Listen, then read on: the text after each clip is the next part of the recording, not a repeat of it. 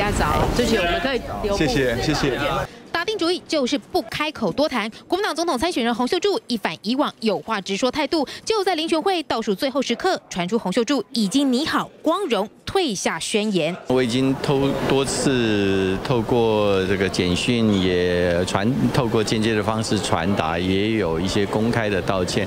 可能我想这个洪副院长可能想说用一个比较自然，在明天见面的方式，他也会发表演说。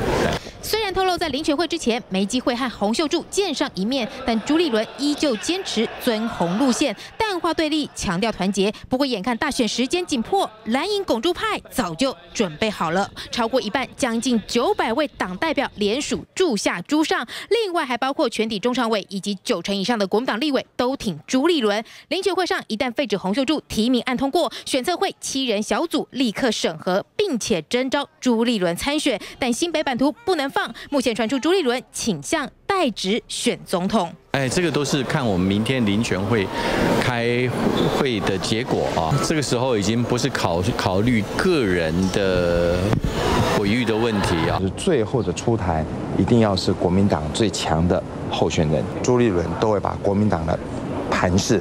集体拉抬，立委话说的直白，毕竟攸关自个儿选情。但如何在周六林权会上面给洪秀柱面子里子，光荣退下？国民党已经架好舞台，就看女主角柱柱姐如何接招。记者李世健、王志远、朱汉云，小组台北报道。